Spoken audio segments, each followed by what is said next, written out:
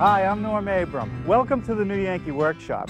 A few years ago, I built a wine cellar for a client, and he loves it. It was a way to store and display his wine, and it had a lot of good design ideas. Now today, we're going to take some of those ideas and incorporate them into a wine rack that you can take with you even if you have to move. I'll show you how to build it next, right here on the New Yankee Workshop. The New Yankee Workshop features the craftsmanship of Norm Abram. Boy, does this bring back memories. Way back in 1982, this was the subject house for another program that I occasionally appear on. You may have heard of it, This Old House. It was an old rundown farmhouse built in 1840, and it needed everything. It took us about nine months to fix it up, and when we left, it was perfect, just like it is today, with the same homeowners, except Nathan here hadn't even been born yet. Let's go inside. Hey, Nathan. There are a lot of special memories here. We built a library with custom bookcases, a media room with widescreen TV, and Jack Cronin, our fine cabinet maker, built and installed these kitchen cabinets. And upstairs, there's an exercise room with a sauna and a steam shower. We even built a wine cellar. They're still talking about that. Come on. I remember building this winding staircase that leads to the basement. It just barely fit in here. And note the rail, it's just a wall of beadboard. Now this is the door that leads to the wine cellar. Boy, looks just like the day I left. Now there's plenty of room to store and display a hundred cases of wine and plenty of floor storage area. Now let me show you how the system works. It came from our friend and designer John Gifford. You open up a case of wine and you put one bottle in the display rack and the remaining 11 go in these modular areas up above. Now it's a very simple system built out of redwood which has held up really well for 13 years and it just has horizontal pieces notched into these vertical boards and little slats hot glued in place. Now if there's any defect with this system, there's no table, a place to open and share a bottle of wine. I hate to see them just using old crates. So maybe what we should do is design a piece of furniture, something that's portable, and we'll make the underneath a storage area for wine, and then a nice table on the top. And that's what we'll do today, back at the workshop. All right, I know what you're thinking, and you're right. I got a little carried away. It's more than just a wine table, it's a wine rack system. Now down below, I built in plenty of storage, enough for over 10 cases. And above that, an open storage area for wine glasses and corkscrews. On the end, I built some larger shelves to store the magnums. And above that, a small shelf, and then one big display shelf at the top. Now let me show you how the system works. You would open up a case of wine, put one bottle on display, and right below it, put half the case. And then do the same thing on the other side. Now, if you'd like to have this wine rack system for your home, a measure drawing is available with a materials list, and you'll hear more about that before the program ends. Now, I built ours out of redwood, and it's really a lot of small slats and pieces of wood. I want to start building the storage system first. There's a 1 by 2 on each side and a 1 by 4 down the middle. It gets notched out to receive these cleats that support the bottles. Now, before we work with any power tools, let's take a moment to talk about shop safety. Be sure to read, understand, and follow all the safety rules that come with your power tools. Knowing how to use your power tools properly will greatly reduce the risk of personal injury. And remember this, there is no more important safety rule than to wear these safety glasses. Now this project is all about repetition. There are dozens of parts to cut the same length. And this is where a saw stop system for the miter box comes in real handy.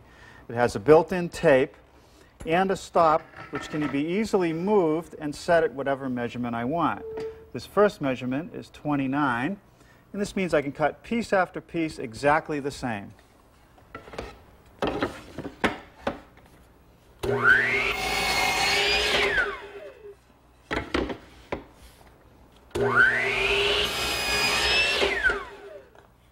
The 29-inch standards get dadoed on both sides.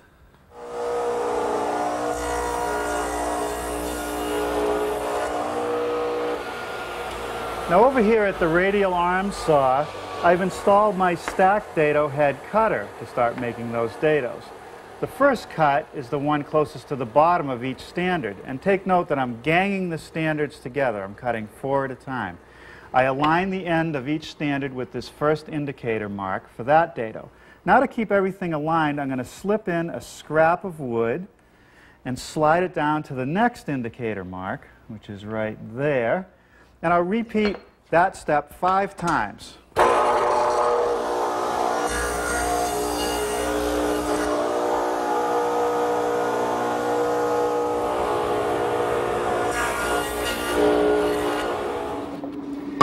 Now with one side complete, I'm going to flip the pieces over and repeat the process. Now these wider standards go in the center of the rack, and there are eight of them. They're dadoed in the same way.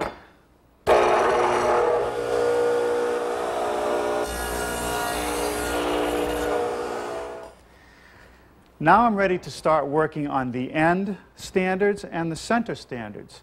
They're a little bit taller because they support this display rack and the upper shelf.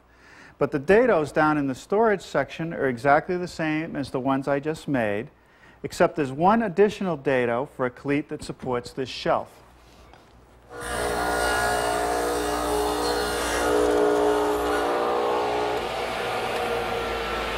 Now these are the four end standards, and they only get dadoed on one side.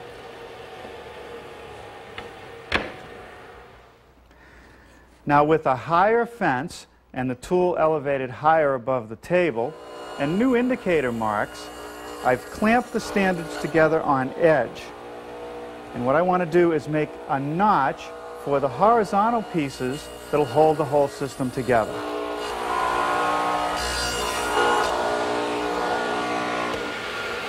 Now here's a group of three 1x4s that are the center standards. And I've just made a notch on each side at the top area to receive a cleat that supports the display rack. The three standards that support the front of this display rack have to be cut at an angle, and that's 12 and a half degrees. Now let's take another look at the prototype. The next thing I want to manufacture are the cleats that actually support the bottles. Each cleat is 3 quarters of an inch thick, 7 eighths of an inch wide, and 24 inches long. Because there are so many cleats to make, it's worth setting up a system to cut them in multiples. So I've attached a scrap piece of 1 by 4 to my fence, and that allows me to cut four cleats at a time. I've turned my saw to 45 degrees to cut the bevel on the end. Now you'll notice that I did not cut it to a point. There's actually about an eighth of an inch of flat material left.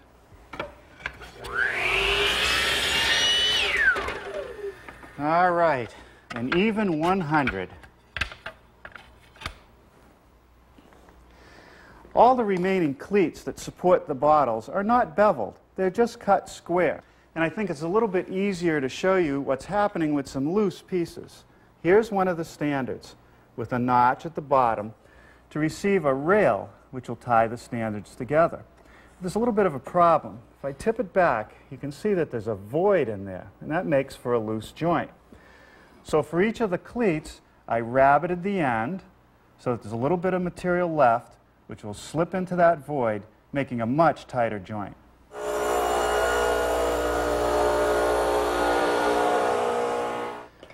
Well, now let me show you how one of these goes together. Bottoms have the notches.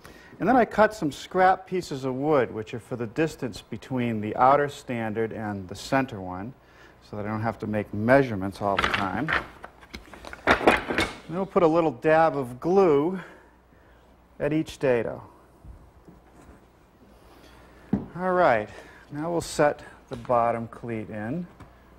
And now I'm going to secure these pieces with a one and a quarter inch brad at each location.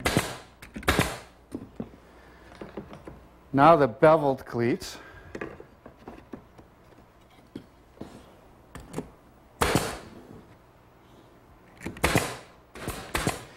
Now just flip it over and repeat the process on the other side.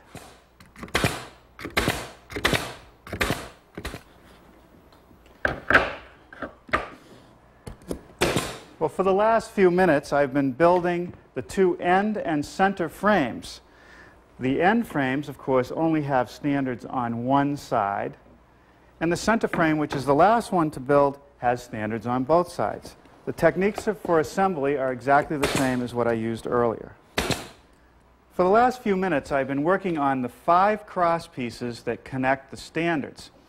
You'll note that the back has been dadoed for every standard location. I'm going to make one design change. For the top cross piece, I let the dado show through on the prototype. I think I'm going to rabbet the top edge so that the shelf will conceal those notches. Well, now for a little assembly. We'll start with the center cross piece, a little glue, and some one and a half inch brads.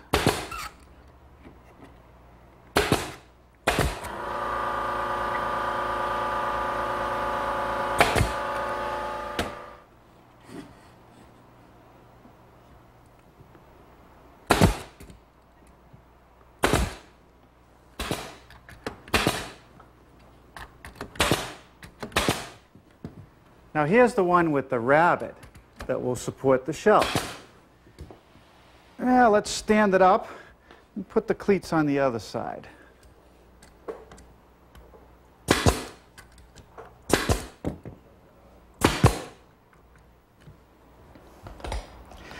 Now we're ready to start working on the base. And underneath all this redwood is a heart of plywood around which I can bend the final pieces.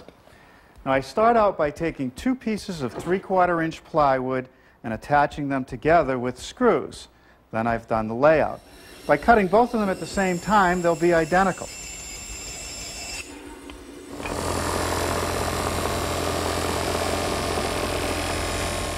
Now let me show you how this goes together. I take the two pieces that I just cut the curves in and put a spacer in between. It's all assembled with glue and nails. Now I've clamped the plywood form to the standards and I'm attaching it with some screws through pre-drilled holes. Now the reason for this is so that the base will be removable. Now here I have a piece of 1 by 6 that I'm going to use for the base.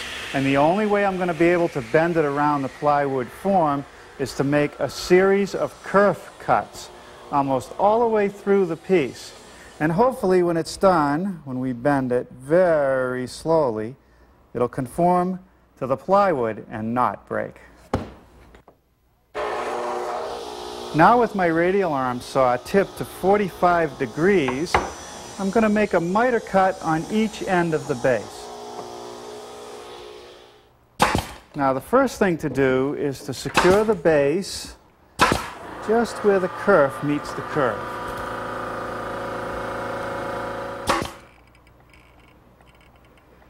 Now next I like to lay in a bead of construction adhesive. This will get in the kerf cuts and help bond the wood to the form. Now you never know what's going to happen. I've bent some pieces and had no problems at all. Others I just barely get started and they break. I've even tried putting water on the pieces to see if that helps. Ooh. I don't know, I heard that crack. It's not encouraging. All right. Oh boy. Ah. Oh, not going to make it. Look at that. We were almost there. Guess it's back to the radial arm. Okay, there's another piece with all the kerf cuts made. And this time I'm going to try everything. I'm going to put a little bit of water on the face side. Maybe that'll make the wood a little more supple and it'll bend around that corner. All right, well, here we go on the second attempt. I find that if you sort of work it as you come around with it, sometimes that helps. Uh, I think we've got success on this corner. Now a couple nails to secure it in place.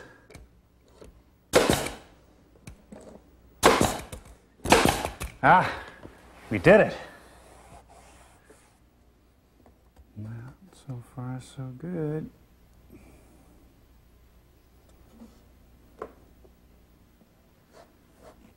Ah, I think we got it.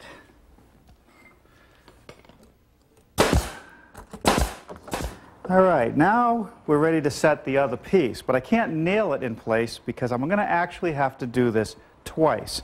I'm going to have to bend it once to mark it and then bend it again to install it. So prayers would be appreciated. That's going to go pretty well. All right, now I got to get a mark.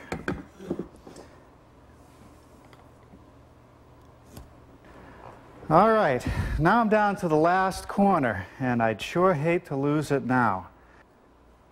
Okay, let's get a mark, make a couple cuts.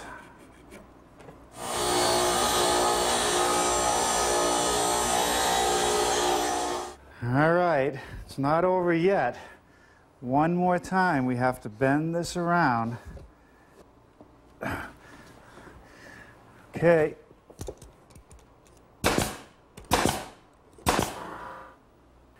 All right, we're on a roll.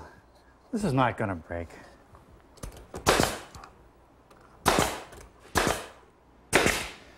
Well, we're going to clean this up, and that's it for tonight.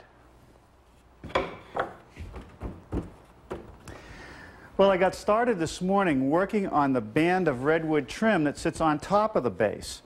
There are straight pieces on each side and a curved piece that fills in the corner. The only tricky part is the curved piece. The side pieces have been cut at 22 and a half degrees. A 5 inch wide piece has also been cut on each end at 22 and a half degrees to fit tightly. Now to lay out the curve, I'm just going to use a pair of dividers, which is set to the overhang of the straight portion, and trace a line on the bottom of the wide piece.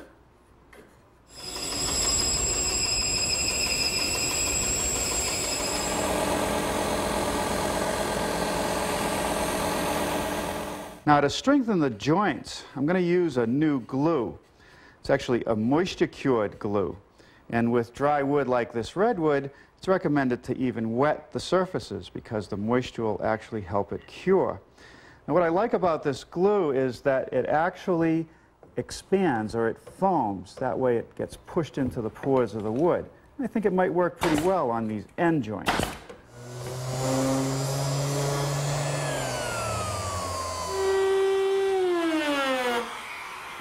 Now to ease the corners on the trim, I'm using my laminate trimmer router, which is set up with a quarter inch radius roundover bit. And I like to use this compact router to fit into tight places. Now here on the ends of the wine rack, I'm using some 5 8 inch thick slats to close in the end. And there's a 5 8 inch space between each one, so I'm just using a scrap as a spacer.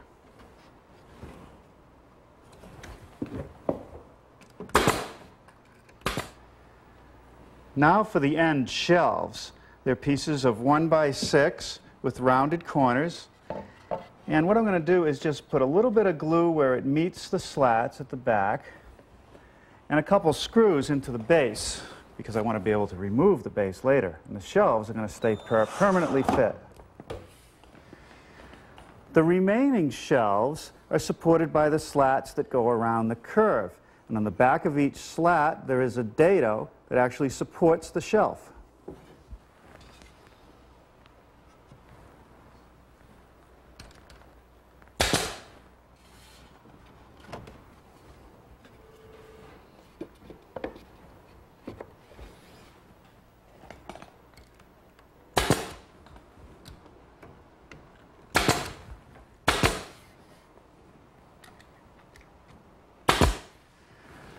Now at the front edge of each shelf, there's a one and a half inch wide piece that fits between the curved sections.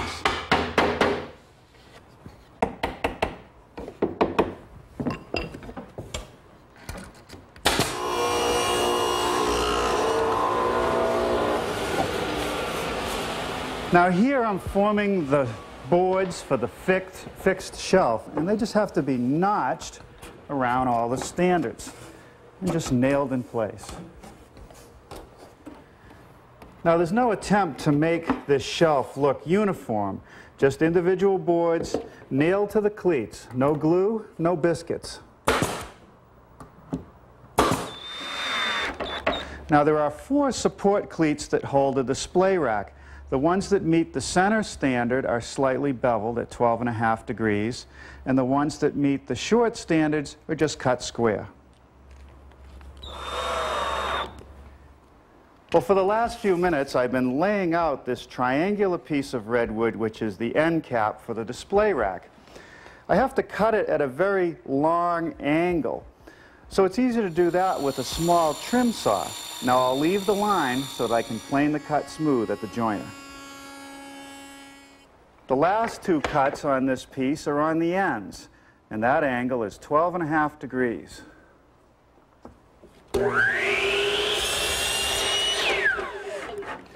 Few screws are all that are necessary to hold the end cap in place. Now the top shelf on each end is formed the same way that I did the lower shelves, except I've rounded over the edges with a quarter inch radius. Because I want the shelf to be removable, I've pre-drilled holes for some screws that I'll put in from underneath. Now for the slats for the display rack. I'm going to put one on each end and one in the middle, hanging over the front rail by an inch and a half. Now for the bottom of the display rack. This will keep the bottles from sliding off. I'll attach it to the slats with some brads.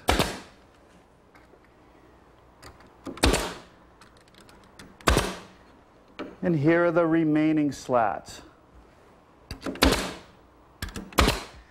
Now I want to make the cleats that hold the upper shelf, and they have an angle cut on the bottom. I suppose I could use the trim saw, but it's short enough that I can actually use my miter box if I make a jig. The jig holds the piece square to the fence, and this little stop holds the piece from sliding through after it's cut.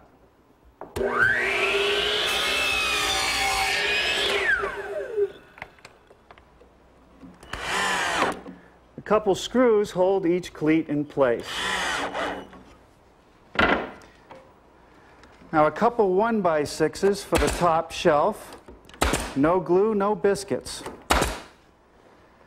Now the final item are these pieces of 1 by 2 which I've mitered at the corners, and they'll wrap the shelf. Now I suppose I could have attached pieces right on the edge of the boards, but I've rabbeted them to make a nice snug fit.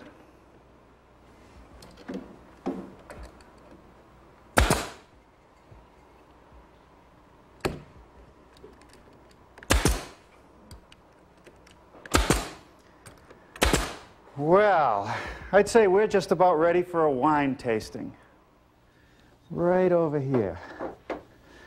Well, I must admit it was a bit of a challenge getting the rack down the cellar stairs. And as you can see, I'm a bit limited on headroom. But finally, a place to properly store the wine. No longer is it sitting in cardboard boxes that are moldy and falling apart. And I know where everything is. Now, I've had quite a few requests from friends for this rack system. In fact, I heard the local wine store is interested. So I guess this is an idea that a lot of people are interested in.